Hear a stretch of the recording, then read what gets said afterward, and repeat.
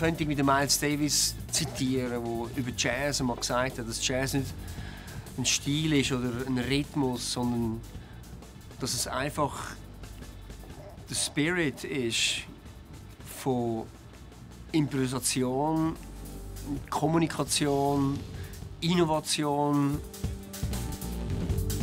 und Self-Expression, wie er sagt, as it relates to the time we live in, also in Bezug von der Zeit, in der wir leben. Und Nerv ist eine Plattform, die mir die Möglichkeit gibt, genau diese Sachen zu machen.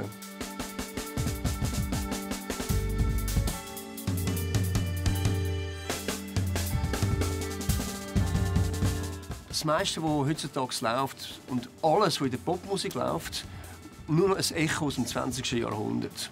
Das heißt mit anderen Worten, wenn wir jetzt mal vergleichen zwischen Elvis Presley, Jailhouse Rock und Jimi Hendrix, Purple Haze, sind genau zehn Jahre vergangen.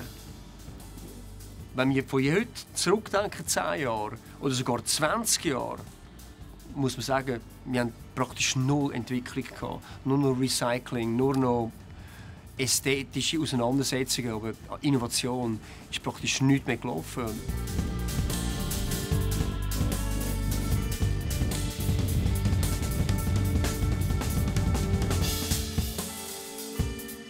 Nerv ist die Möglichkeit für mich, nicht mehr im 20. Jahrhundert verankert zu sein, sondern in der Gegenwart. Und das ist total wichtig.